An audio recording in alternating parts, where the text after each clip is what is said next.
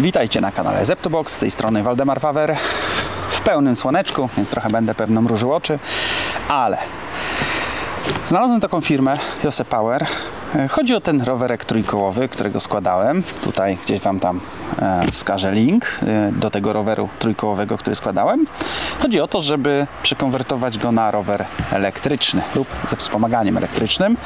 No i właśnie ta firma Jose Power, którą znalazłem, ma mnóstwo tych wszystkich do wyboru rzeczy. Przesłałem im link do tego roweru, jak składam. Mm, Spodobało im się, dali mi rabat na to, co tutaj się znajduje, więc gotowy kit. Oni produkują różne kity na przedni napęd, na tylny napęd, a do tego roweru trójkołowego wiecie, że tam jest nietypowy napęd na tył, więc dlatego na przedni napęd e, to wszystko zamówiłem. Dotarło bardzo szybko, także zapraszam na odcinek.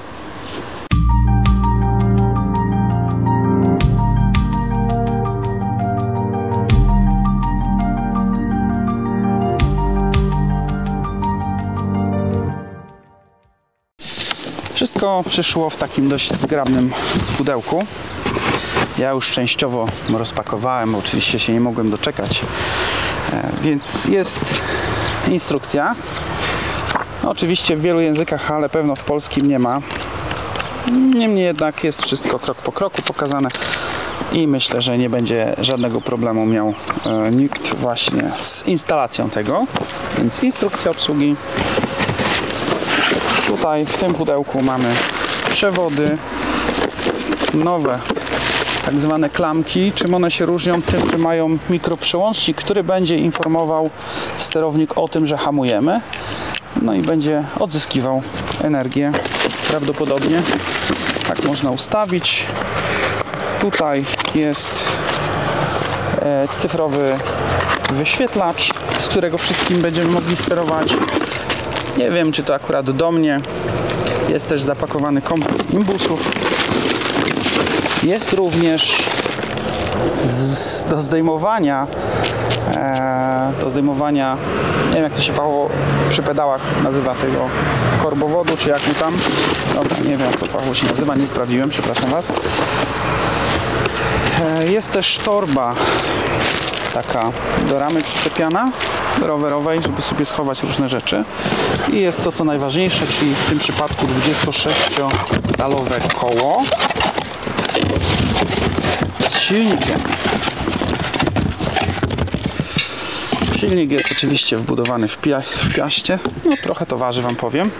Felga jest aluminiowa przygotowana do hamulców e, zaciskowych, natomiast my będziemy tu na pewno wkręcać e, tarczę, tarczę hamulcową do e, hamulców tarczowych. Więc jest koło, jest to co najważniejsze, czyli akumulator razem ze sterownikiem. W komplecie dwa kluczyki do wyjmowania akumulatora. Tu jest sam akumulator ze sterownikiem.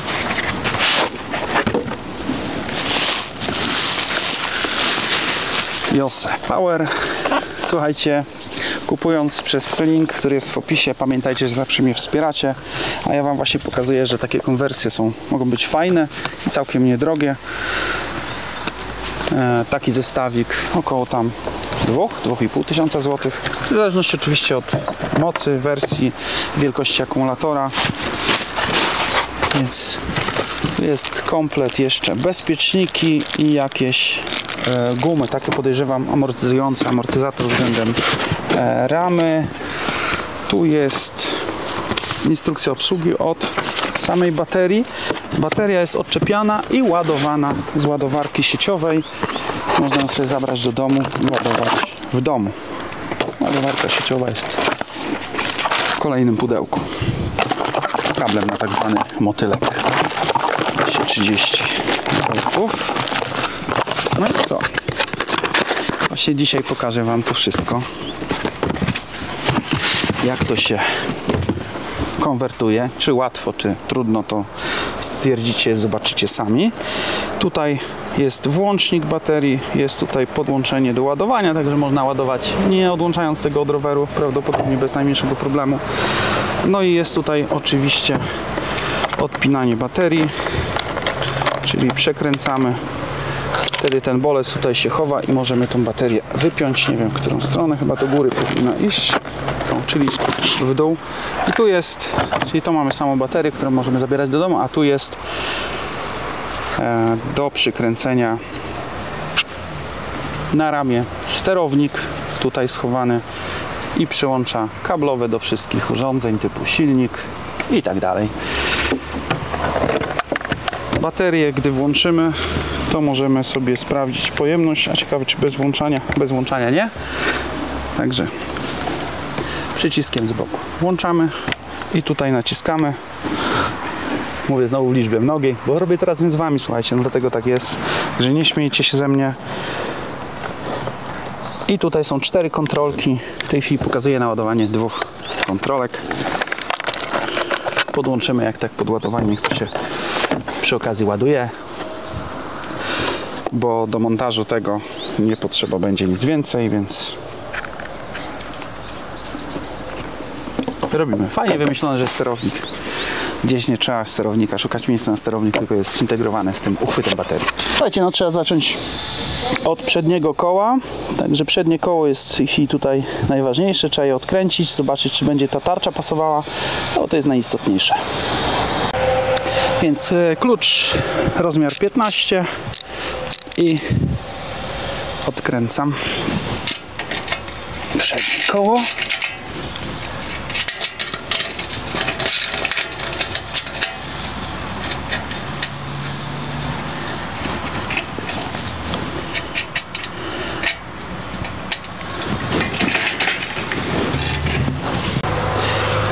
To koło napędzane ma być 26 cali, więc powinno być zgodne, bo będziemy musieli przełożyć oponę, oczywiście tarczę również hamulcową. Więc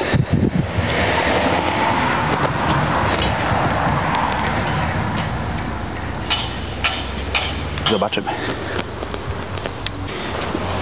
Więc tutaj odkręcamy tarczę, ale ciekawostka.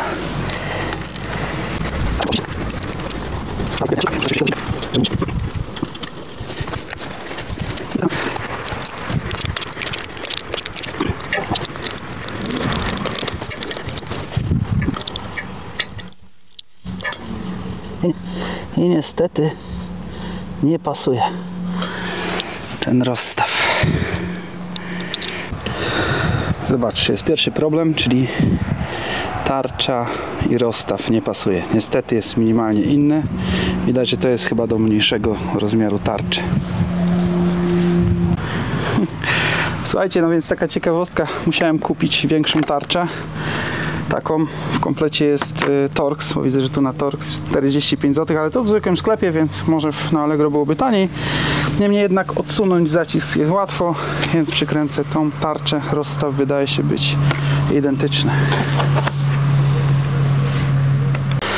Dobra, tata będzie przekładał koło w międzyczasie, a ja już y, zamontuję klamki y, i pozostałe rzeczy. Także mam co robić. Czyli tu tą klamkę trzeba odkręcić, a to jest przedni hamulec.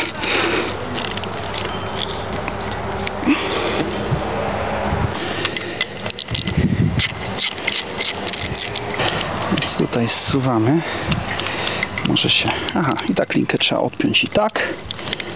Więc nie ma problemu. Wyciągamy, przekładamy przez tą szczelinę i wyjmujemy. A ta klamka z tym czujnikiem, czyli z tym kabelkiem tu przychodzi, ale tu jeszcze nam będzie potrzebna manetka gazu. Manetka gazu jest taka na kciuk tak zwana.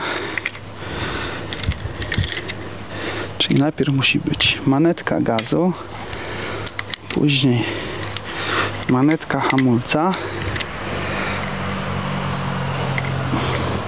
i będzie trzeba pewno to wszystko przesunąć tak, będzie brakować jakiś centymetr Więc centymetr trzeba przesunąć to do zmiany biegów.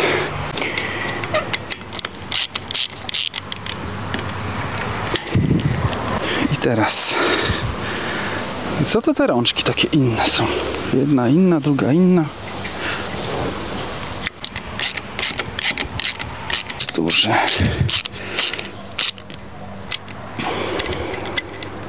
Mamy klamkę i tu przekładamy przez szczelinę tą i ustawiamy. Oczywiście przeszkadza zacisk, więc go odkręcę całkowicie, żeby można było bez problemu zamontować koło już przełożona opona przez tatę żeby nie było a ja w tym czasie klamki przełożyłem. No i dobra, można wmontować. A właśnie. Ech, dobra. Nie zwróciłem, nie zwróciłem uwagi, że przy kładaniu ta podkładka nie była niczym zabezpieczona, dobra, więc ale już na szczęście się znalazła. I to znów musi wejść w odpowiednie miejsce bo tym razem jest na tyle istotne, że silnik musi o coś się zaprzeć żeby mógł pracować. Inaczej nie ma możliwości. Dlatego trzeba e, te śruby są takie duże ale to tak naprawdę jest zwężone.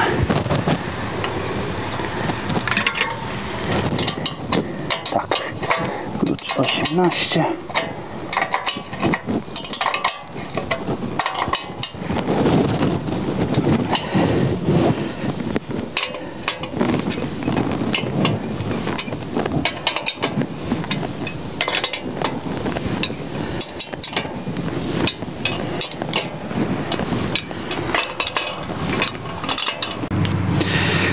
trochę mamy cienia w końcu. Teraz będzie najtrudniejsza w sumie część. Może nie najtrudniejsza, ale taka utrudniona. Bo tutaj trzeba będzie założyć y, czujnik obrotów,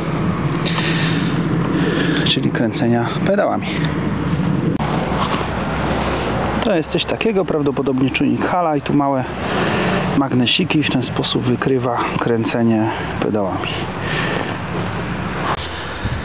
Tutaj zdejmujemy ten kapselek. Jest tutaj nakrętka, tylko niestety nie wiem czy prawy czy lewy gwint. Klucz 13, 14 tu jest akurat. Ok, chyba jest normalny prawy gwint. Więc mogę odkręcić do końca. Teraz byłby problem ze zdjęciem tego zazwyczaj, ale tu jest w komplecie ściągacz. Ściągacz wkręcany.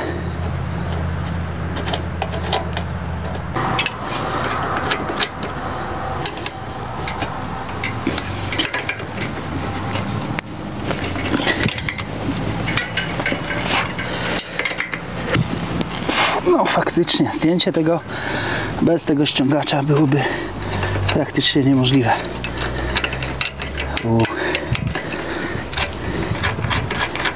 Naprawdę bardzo ciężko, powiem Wam.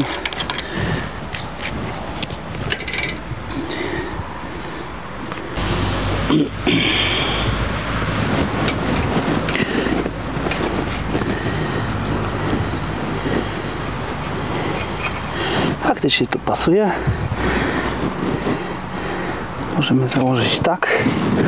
Możemy gdzieś tu od dołu ten czujnik.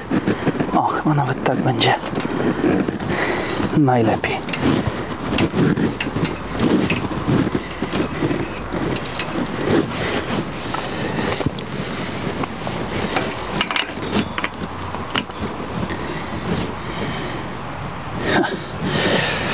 Zobaczę jeszcze jak to w instrukcji wygląda.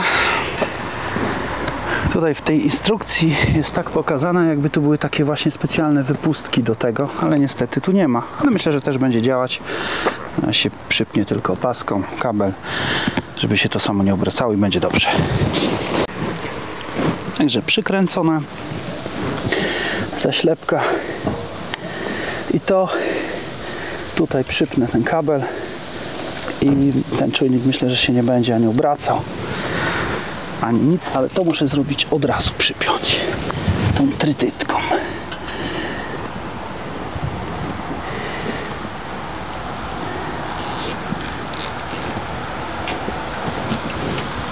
Ok. Monitorek nie wiem gdzie przypiąć, ale myślę, że na środku kierownicy będzie idealnie.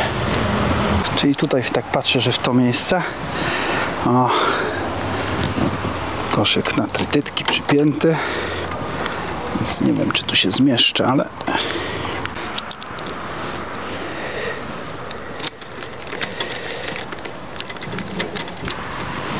Tu jest taki dołączony kabel. To prawdopodobnie jedno do sterownika i resztę leci tymi. No to zobaczymy. Wtyczki do gazu są inne manetki. Na razie ten sterownik baterii zrobię tak tutaj przy koszu.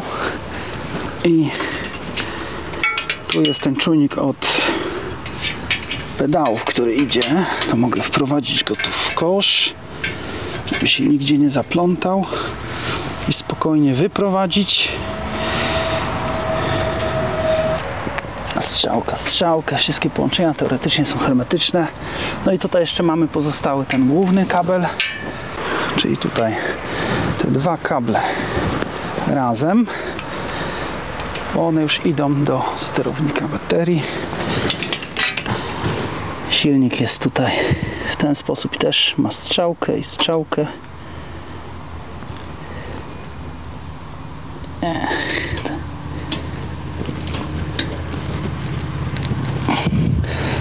Tak. Czyli teraz tak, zakładamy tu akumulator. Mówię znowu w liczbie mnogiej, no ale to tak jest. Aha, kluczyka nie wziąłem. Więc uwaga, włączę. Mam nadzieję, że już jest wszystko. Czyli przekręcę. Ten bolczyk wtedy tutaj zaklucza. No i tu mamy włącznik po lewej stronie. Tutaj jest włącznik jeden i sprawdzam bateria jest pełna, nie, 3 czwarte. Dobra, bo się nie zdążyła naładować. No to ok, 3 czwarte powinno wszystko działać. No to sprawdzam. Instrukcja obsługi od tego sterownika jest tu tym QR kodem. Możecie sobie no to dobra, zobaczę, włączę. 3 sekundy przytrzymam. Włączył się niby jest jedyneczka pełna bateria 0 km na dole. Aha tu wspomaganie 3, 4, 5 na maksa. Trip time. W-Power, czyli moc kilometry average prędkość, no dobra, czyli jest chyba wszystko. No to dobra to pierwszy test taki na podniesionym kole będzie. Wspomaganie ustawiam na 1. Podnoszę koło i gaz. No i jedzie. Dobra. 13,5 km było. Jak wcisnę hamulec i gaz jednocześnie, to nie, nie działa. Dobra, to odkładam telefon. Zobaczę.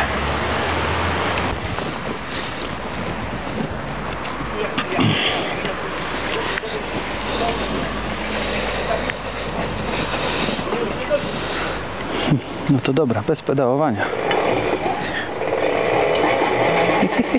Na jedynce to jest.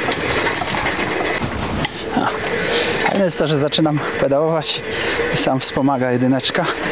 Nie no, powiem wam, że jest elegancko. Teraz wspomaganie na 5. Oj to, o, powiem wam, że prędkość. I no naprawdę. Powiem Wam, że na piąteczce to już jest wspomaganie mocne. Puszczam hamulce, zaczynam pedałować. Zobaczcie, nie wykrywa, nie wykrywa. Ale mogę sobie wspomóc gazem. Bez pedałowania ruszyć. Od tak.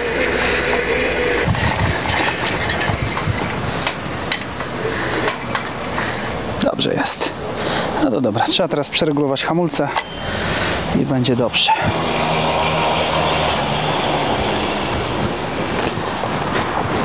Żeby nie było lampeczkę też jeszcze tutaj przykręcam. Ona się akurat zmieści pod kosz, bo ta duża się pod kosz nie mieściła. A to jest w komplecie lampka, która była. Będzie idealnie pod koszem.